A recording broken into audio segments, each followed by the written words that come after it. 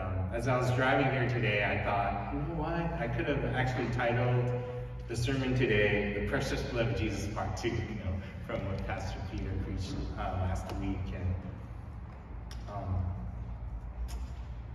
because um, that's what really the core of, of today's sermon is also about, the gospel, the precious blood of Christ. And um, how many of you guys know uh, what Tuesday night was? It started Tuesday night and ended Wednesday night. Anybody know? Yom Kippur. What is Yom Kippur? You might know it better from Leviticus 16 called the Day of Atonement. And Yom Kippur was a very, very special day. It happened once a year, and only one person could enter a very special place called the Holy of Holies. And much preparation had to be done. And if you didn't follow God's law and God's rule, and you entered at the wrong time, or whenever you wanted to, you would literally be struck dead. The Holy of Holies was the most sacred place because that was the place where the presence of God rested here. God is omniscient, but specifically, there was something very special in there called the ark. And the top of the ark was a very special place called Mercy Seat. And every year, the high priest had to follow very specific directions. First, they had to slay a bull as a sin offering for the high priest and his household. Then they had to take two goats. One of the goats we know as the scapegoat. The high priest had to lay his hands on the goat, symbolizing the transference of all the sin. And the goat was led out, banished into the wilderness, symbolizing the separation and banishment of sin from the presence of God. Then the second goat was taken, and the blood was also shed as a sin offering. And the high priest was to carry that blood of the bull and the goat on the day of atonement. Go to the mercy seat, which represented the presence of God, and sprinkle the blood as atonement for the sins of Israel. You know, we, we learned last week from Pastor Peter, Leviticus 17, 11, where it says, the life of the flesh is in the blood, and I have given it to you on the altar to make atonement for your souls. And unless you understand Leviticus 16, you will never understand what the great high priest, Jesus' role as the great high priest really was. And today, uh, before we dive into Isaiah 6,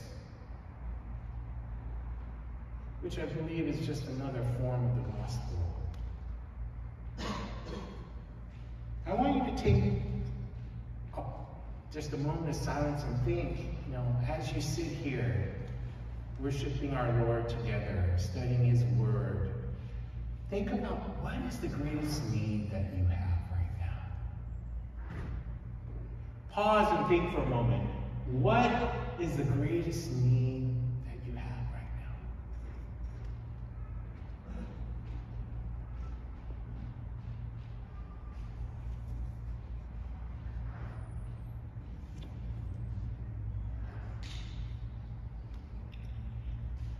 in our fallenness, in our sinfulness, and our pride, you know, maybe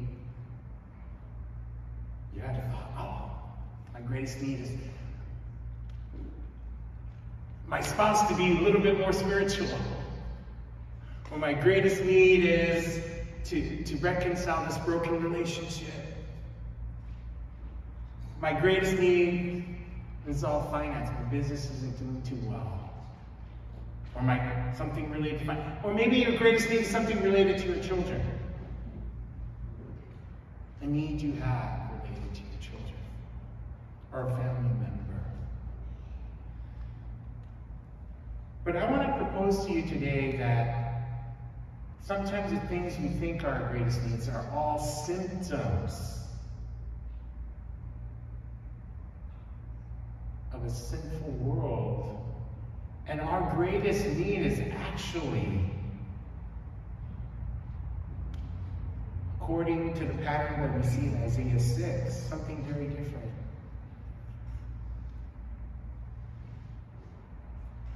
I want to propose that by studying Isaiah 6, that we can see that our greatest need is to turn our eyes to Jesus, to see him for who he is, to fall in our knees in repentance, and then to be restored by the touch of Jesus. Let's all rise and let's read Isaiah 6, 1 through 8 together.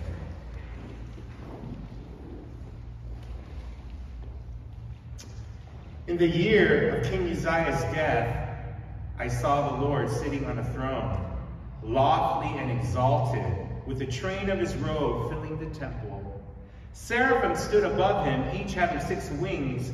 With two he covered his face, and with two he covered his feet. And with two he flew. And one called out to another and said, Holy, holy, holy is the Lord of hosts. The whole earth is full of his glory. And the foundations of the threshold trembled at the voice of him who called out, while the temple was filling with smoke. Then I said, Woe is me, for I am ruined, because I am a man of unclean lips, and I live among a people of unclean lips, for my eyes have seen the King, the Lord of hosts. Then when the seraphim flew to me with a burning coal in his hands, which he had taken from the altar with tongs. And he touched my mouth with it and said, Behold, this has touched your lips, and your iniquity is taken away, and your sin is forgiven. Then I heard the voice of the Lord saying, Whom shall I send, and who will go for us? Then I said, Here am I, send me. There is a pattern here in Isaiah that's repeated in, in many times in the Bible when God deals with someone. And it always goes like this. God reaches down and he shows sinful people who he really is. And here, in Isaiah's case, he gives them a vision of the holiness of God. He gives them a vision of the throne.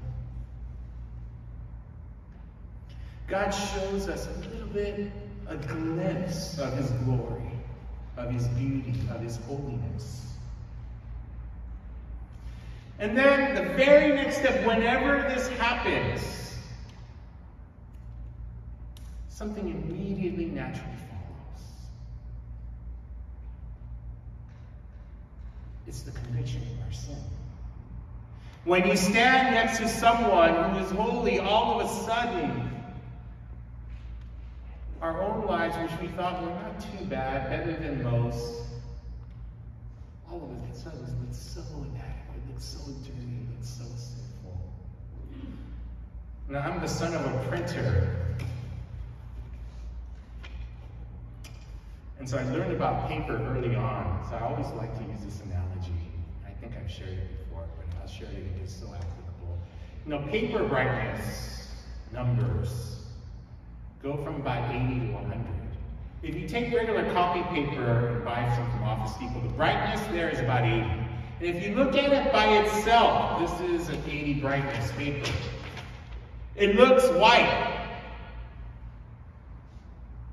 Only if you don't compare it to the 100 brightness paper, which is much more expensive, but you put a 100 brightness paper next to an 80 brightness paper, and the 80 brightness all of a sudden starts to look ivory. It doesn't look white anymore. You can tell, wait a minute, if this is white, this can't be white. And this is what happens to Isaiah. Notice that the sin that Isaiah has been carrying, it's a pattern, it's been with him all his life, but he never felt like, oh, the need to repent. But only when he saw the Lord. When he stopped comparing himself to others. Others probably thought he was a very holy man, a very godly man, and probably treated him with the highest respect. But all human views of himself were shattered when he stood next to or saw the image of the Holy God. And the only thing he could do is say, Woe is me. Woe is me, I'm, I'm like a dead man because me, a sinful person, has seen the only God.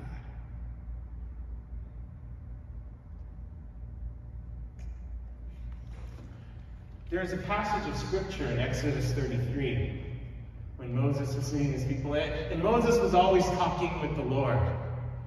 And one day Moses asked, Lord, show me your glory. And you know what God says?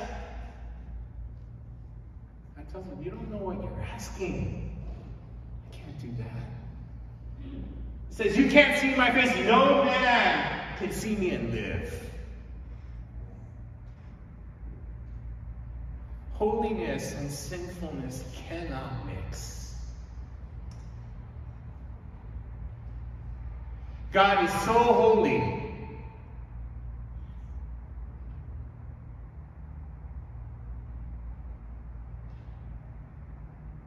That if we as sinful people exercise this, we would be killed in an instant.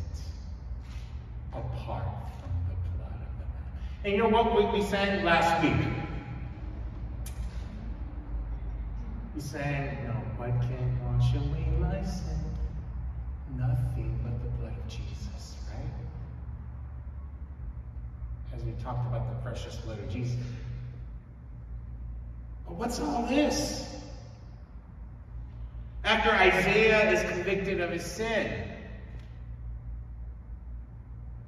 says there's a seraphim, the same seraphim who was flying around with two wings, with two wings covering his face, with two wings covering his feet at the holiness of Jesus. Maybe the seraphim couldn't see the holiness of God either. That's why his face was covered. And the feet are most lowly and, and most represent symbolizing the dirtiest part. It's also covered in the presence of the Lord. Comes around and goes to the altar takes tongs of burning coal and brings it and touches the lips of Isaiah. This is highly symbolic. In, in, in any vision, there's many visions of the throne in the Bible, but there, there's usually two things. The throne, which represents the place where God is worshipped and his holiness is revered. And the throne is there for God, but there's also something else that's there for us. You know what that is? That's the altar. And it's by the altar that allows us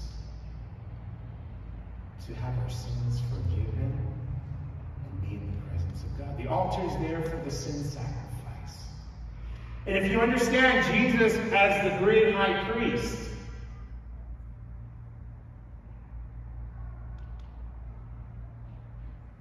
you can understand that everything that was done in the Old Testament was there to show us what Jesus would eventually do. After Isaiah is convicted of his sin, God doesn't say, I'm so glad God doesn't say, You're right. Sorry. You are super sinful. Get away from my presence. You don't belong here. God doesn't do that. He takes he tells the seraphim to go take a fiery coal. You know what seraphim means? It's very interesting. It's, it's only used in Isaiah 6 in the entire Bible. It's used nowhere else. And it comes from the Hebrew with seraph, which means to burn. So seraphim are literally fiery ones. That's what that's what seraphim means. The fiery ones. It's plural for seraph. Means fiery ones. And what the seraphim does when he takes the coal is highly symbolic of, of what? Of what Jesus, the great high priest, would do. It's not the coal that forgives sins in the Old Testament. It's nothing but the blood of Jesus. If you understand the great high priest and what Jesus did, which is explained in the book of Hebrews, you would see this. Hebrews 6:19 through 20 says, We have this hope as an anchor for our soul, firm and secure. It enters the inner sanctuary, behind the curtain, where the forerunner, Jesus, has entered on our behalf, and he has become a high priest forever.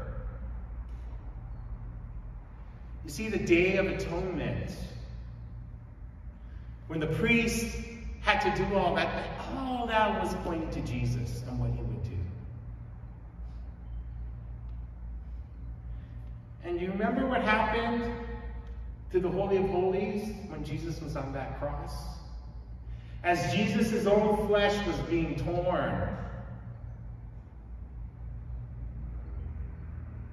the curtain at the temple was also from top to bottom being torn. What was the curtain representative of? It was represented, it was the shield. The holiness of God was blocked by the curtain so the sinful people would not be killed. So what Jesus did, what the gospel is, as he his flesh was being torn on the cross. The curtain itself was being torn. The separation between sinful man and God was being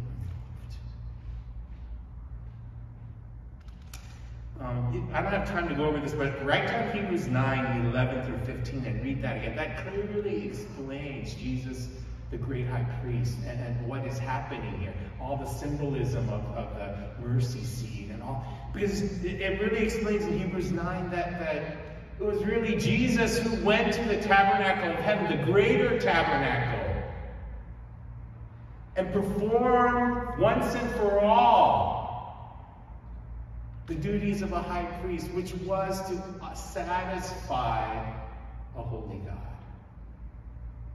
not with the blood of bulls and goats, but with his own precious blood.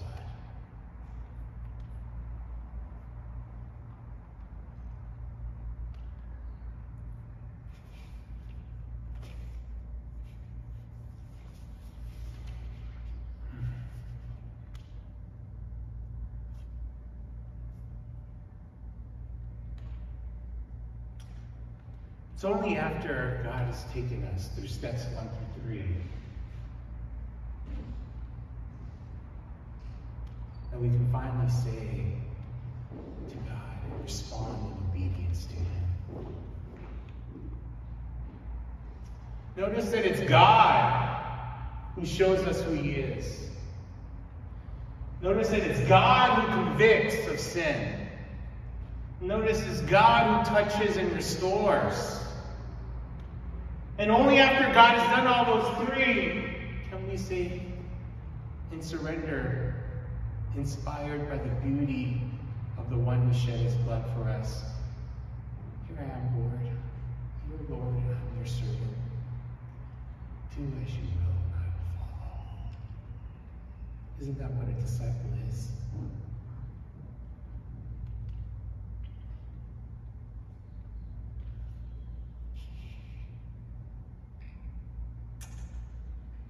You know, there's many ways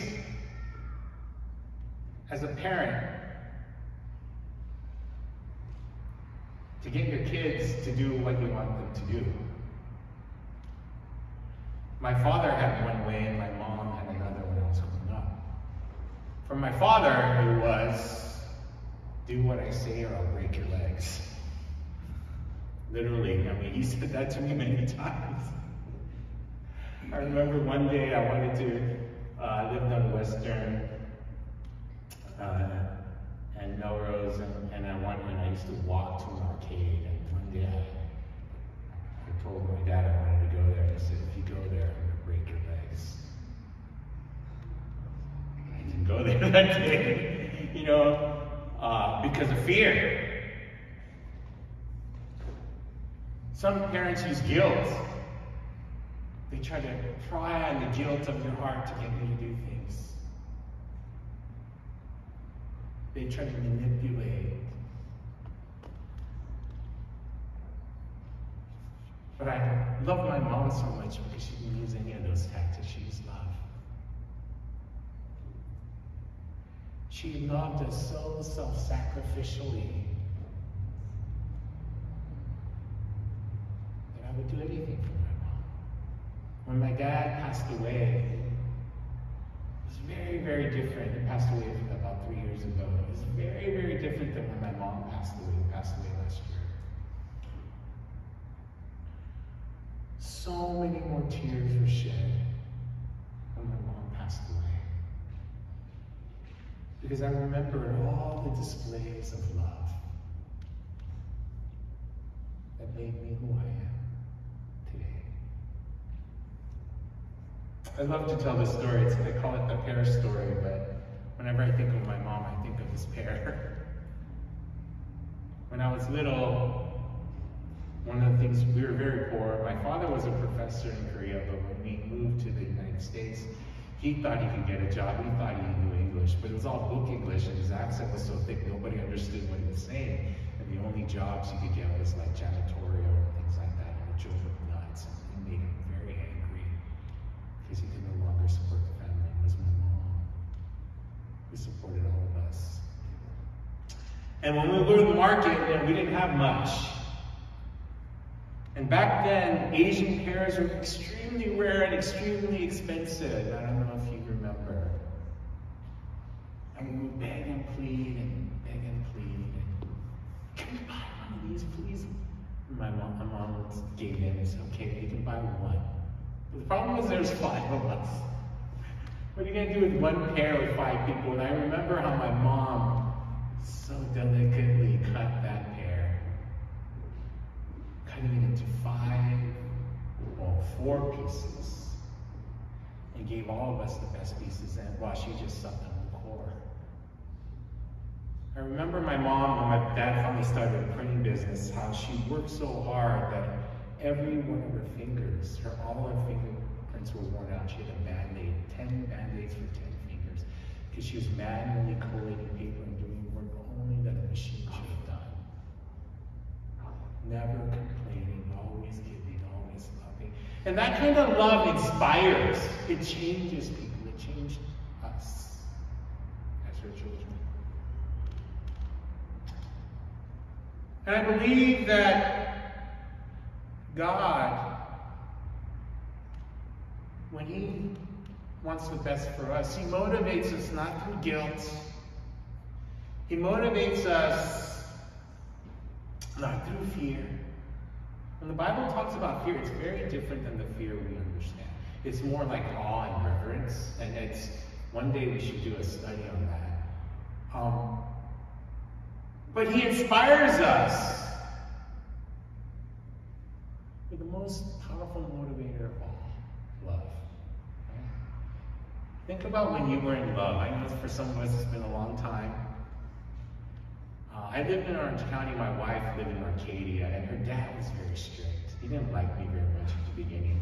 He didn't want his daughter to be taken away by somebody who wanted to be a missionary and take them out of the country and all that other stuff. And he was very against it. And he put a curfew of 9 p.m. when we went out on dates. And sometimes I would drive all the way from Orange County to Arcadia, and our favorite place in the back then, Disneyland annual passes were what? Like $99. I don't know if you remember.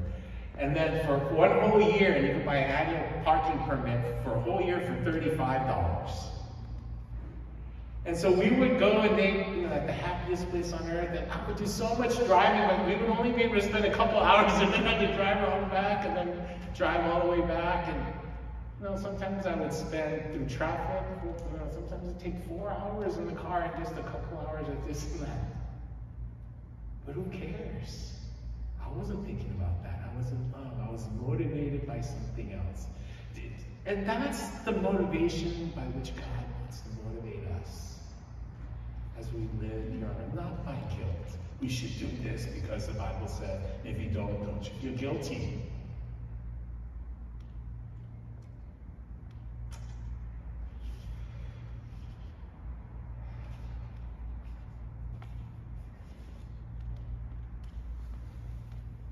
I brought this rope from my garage because I wanted to try to illustrate something. And I'm not smart enough to have thought of this by myself. I, I saw Francis Chan do this once and I was so touched by it. I said, I'm going to copy that. So I shamelessly borrowed it from Francis Chan. But can you, can you take this and take it all the way as far as you can? This is a long rope. It's time. Okay, well, let's just stop. Just pretend it's going on for eternity. Okay, thank you. You could drop it i I wasn't supposed to tangle. It was supposed to go all the way to the entrance. A little piece of duct tape on this rope. You know what this represents? If this is our life, our timeline of our life, this little piece of duct tape represents our time here on earth. A drop in the bucket. And God pleads with us. In this short time, God wants to train us and prepare us for all eternity. He doesn't need us.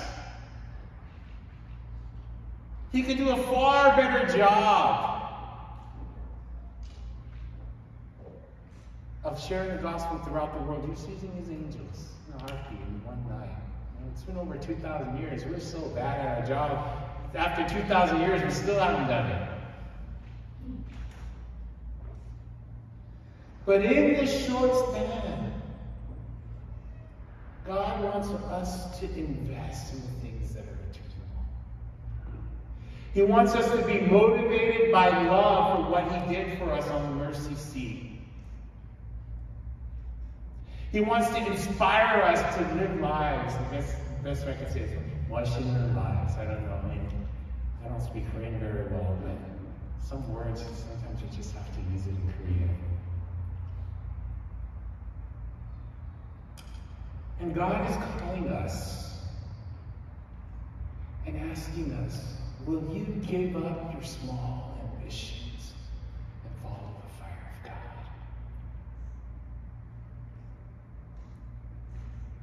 But so many of us are like the rich young ruler. I, I have so much. I have status here. I, I, I've gone to a really good college. I have all these degrees.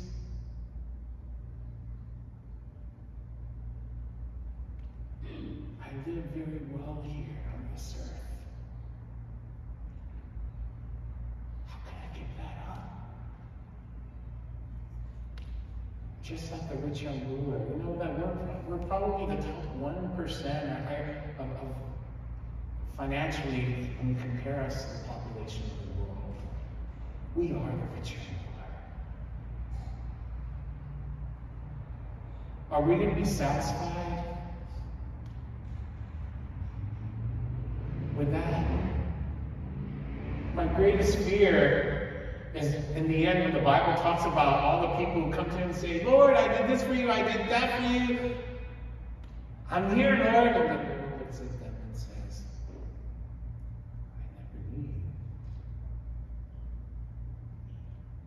These are people who thought they were followers of Christ, serving the Lord. That's scary to me. Let me close with this. Now, wisdom. Shall we spend all our efforts and energy preparing for this? Or shall we store up our treasure in heaven? For eternity. Um,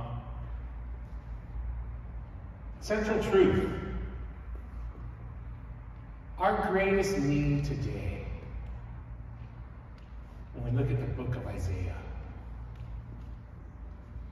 turn our eyes on Jesus, fall on our knees in repentance, and to be restored by his touch. so that we can go forth. The people we meet every day in our sphere of influence, the work, maybe it's just our children. Maybe it's our neighbors as talking to them as we water our grass. Maybe whoever it may be. And if we've met the Lord, we would just radiate his presence. This process happens all the time throughout the Bible. Do you remember what happened uh, to Peter?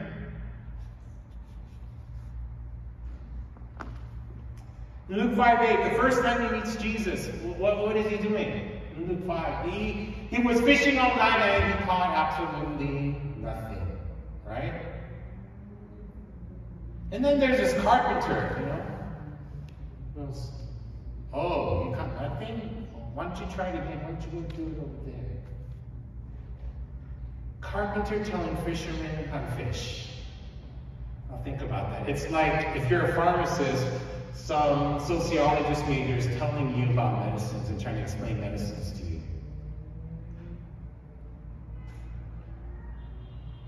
But for some strange reason, Peter listens to the sociologist, no, to the carpenter. And he tries it again.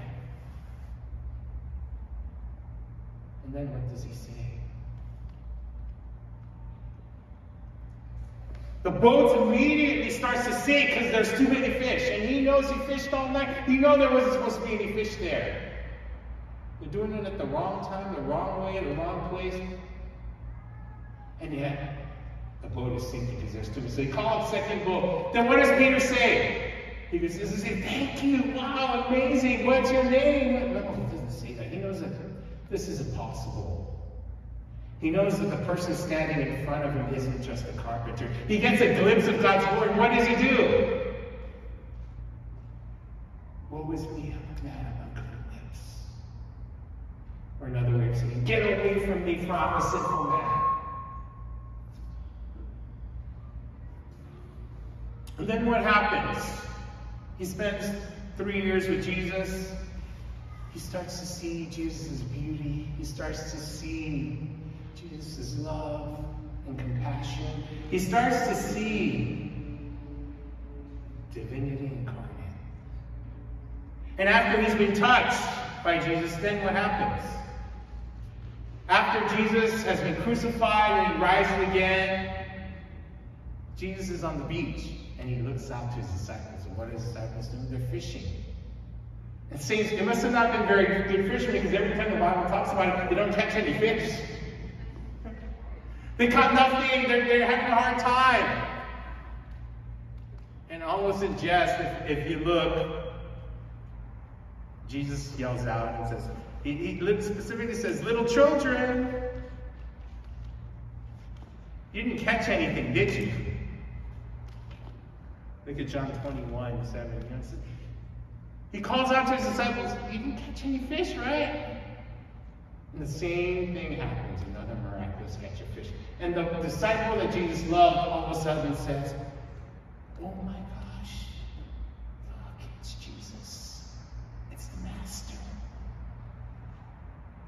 But this time, look at the response of Peter. What does he do? He can't wait for the boat to get to the beach. So he dives into the water to swim, to get to Jesus as fast as he can. Because he's been touched by the Master. What would we live for? I used to think that repentance was only when I messed up, when I got in a fight with my wife. And I got angry said something I shouldn't have. Or when I violated some of the things in my own heart that I knew was wrong and I fell to the desires of the flesh, then I had to go and repent. I thought it was based on, okay, certain actions I did physically, then I would go repent. But you know what? As I get to know the Bible more, I realized all of my life is about repentance. All of this entire Bible is about the gospel, both Old Testament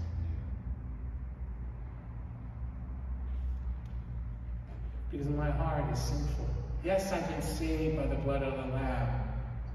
But until the day of glorification, my heart is still selfish and sinful. And I need to fight every day. And the greatest sins I need to repent of are not some acts necessarily that I've committed in terms of physical acts. But it's an act of the heart where I place myself above God. Where I say with my mouth, Jesus is Lord, but in my heart, I'm my own Lord. Where I love to talk about being a servant, but when I'm treated like a servant, I get angry.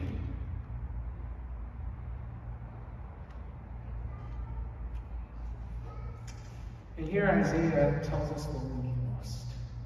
Every single one of us, every single day. We need to see the beauty and the glory and the holiness of Jesus. We need to fall on our knees in repentance. We need to allow the touch of the Holy Spirit to transform our simple hearts day by day, moment by moment, second by second. And only then will we be able to go out into this world and be salt and light. Let me just go through the pictures. This is the Musi River. I talked about this before, but I thought I'd show you some visual images. The highest concentration of unreached people groups are here. And that water is foul and filthy. It's not the ocean, it's dirty. It has a, a, an incredibly awful stench. And the first time I went there, I was so shocked because, you know, when you ask where the bathroom is, they point to a plank. Think of a plank on a pirate ship, but yet they put a piece of wood, uh, next photo, they, next photo, next, okay, just can stop right there for a second. And they put a plank out into the wood, and, and like a pirate ship, you go out there, but instead of jumping off, you squat and you go to the bathroom right into the river.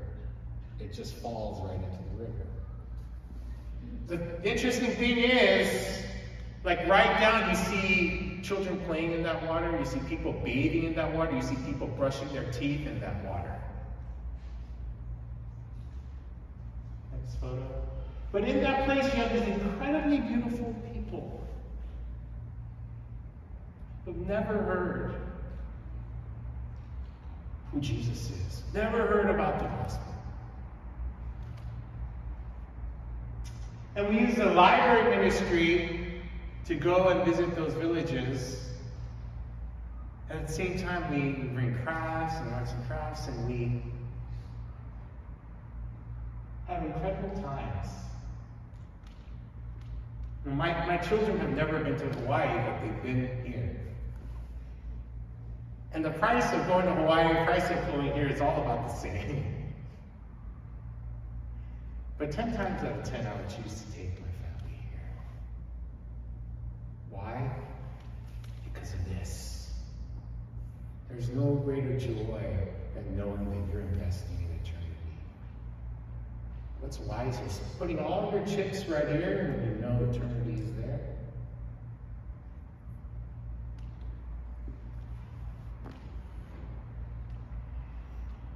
God is calling us to be a people who humble ourselves before the Lord every single day, to see his beauty and his holiness, to come to him in a posture of repentance, knowing that our own hearts, although we are saved, keep wanting to go against what God commands. And it's not a one-time deal, it's a daily coming to the altar, a daily being reminded of the blood that was shed for us, and a daily going out into this dark world that so desperately needs Jesus and being salt and light. Let's go to that.